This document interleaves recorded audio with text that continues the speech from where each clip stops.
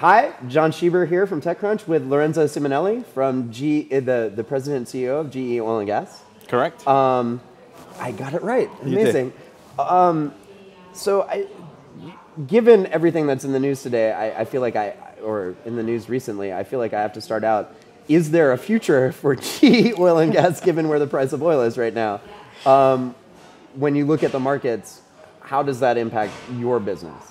So the good thing is I don't look at the oil price every day, and I'm an optimist. And when you look at the macro trend and mm. you look at the macro needs of the world, there is definitely a future within oil and gas. Uh, you've got a growing population, you've got a growing middle class, and when you look at the energy needs, you know, gas is the cleanest hydrocarbon. And so you look at the future natural usage. Gas, yes, yeah. natural gas. And right. then as you look at LNG, you look at CNG usage. So we see a continued growth trajectory going out the next decade and 20 years, and we feel good about the future. Clearly, there's going to be volatility as we go through that. And volatility is not new to this industry. You've right. seen the price of oil go through many cycles before, and I'm sure it will go through many cycles in the future. But at GE, we really stay focused on the macro trends and stay focused on what, what are the main needs, and the fundamental needs are there. So I, obviously, we're a tech blog. Um, when when you think about uh, an old line industry uh, such as oil and gas, which is over a century old, um, what role do new technologies play in in extractive industries? What what where how does GE operate with or interact with startups when it comes to sort of this space? Uh, look, I, I, think this is, is, an exciting space, and it gets viewed as an old industry, non-technology. That couldn't be further from the truth. When you think about what's happened from a technology change with fracturing, when you look at what's happening also with the digital age, people don't realize how much digital and really the fourth industrial revolution is impacting the GE oil and gas space. And we're at the forefront of it. And we're applying both uh, startups, but then also we've established within GE basically our own GE Digital. Mm. And we've created our own platform called Predix that mm. now we're taking to the industrial world.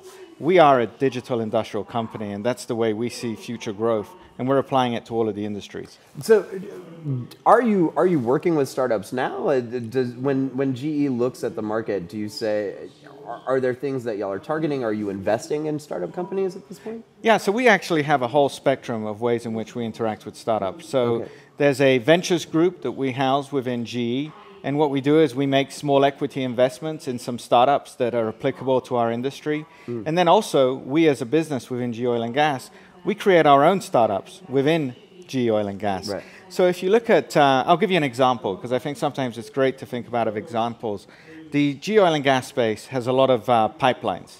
What we're creating across pipelines is an intelligent ecosystem to be able to now monitor a pipeline really virtually.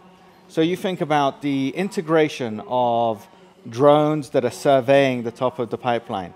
You think about drones that actually have the ability to sense right. whether there's leakage, whether there's actual air, what's moisture. Then you apply it also into an ecosystem mm. which says, what's happening to the weather? So what's going to be the weather impact onto the pipeline? You can apply the same things of an offshore platform, right. and that's what we're working on, both within G-Oil and Gas, but then also partnering with entrepreneurs and startups as well. When, when you look out uh, at, at the, the sort of future of, of, of the business, um, you not only deal with oil and gas, but also other extractive industries, and then you're also doing uh, efficiency around water and, Correct. and, and uh, resources as well, I guess. Um, how much of the business going forward, or your focus going forward, is on efficiency versus sort of extraction or, or technologies around um, making the oil and gas business cleaner so versus and again, you look at it, we've really got two main focus areas. Right. And uh, we benefit by the aspect that as GE Oil and Gas, we're part of GE. So we've got the GE store that we can go to to take a lot of the different tools and different products that are mm. utilized in a GE Power, in an aviation, a healthcare. And then we really use that package to go out to the industry and drive both optimization as well as then with an eco element and mm. provide the best outcomes from an ecological perspective. GE, for many years, has had the focus on ecomagination. Right. And so everything that we focus on has both elements. Best outcomes for our customers from a productivity perspective, as well as then ecomagination. I'll give you another example. If you think about, um, you know, talk a lot about the impact of carbon, CO2, and we're looking at ways in which we can actually take CO2 and use it within fracturing. And so you capture CO2 and then you use it instead of water into the fracturing of wells. Right, right, right. So that actually is a benefit both from a productivity perspective to mm. the industry. It's also a benefit from an ecological standpoint because you're no longer using the water. And those are the type of technologies we're investing in. In, in the environment that we're in post sort of Paris and, and, and the COP agreements and, and, and sort of everything that's, that's going on, how is there a sense in GE to shift more towards sustainability um, and, and, and look at, at renewable resources as, as more of an option. Will that be done through GE oil and gas, or is that sort of through power or, or another so, aspect of the business? So we have an energy mix, right. and we've always said that you know the future lies in having an energy mix that's both renewable focus, gas focus, oil focus, and if you think about the future growth and the future energy needs, there's going to be an element of all of them. Right. Uh, you're not going to be able to see a complete elimination of any one of them. And so through GE Power, we obviously focus on right, the right, elements yeah, of uh, some of the utilities and power generation through steam as mm. well as through gas. We have the renewables business that has both the offshore wind, onshore wind, we have the water, we have hydro. So we provide the full element. And again, I think, uh, you know, you look at a company such as GE, we've got a sustainability aspect.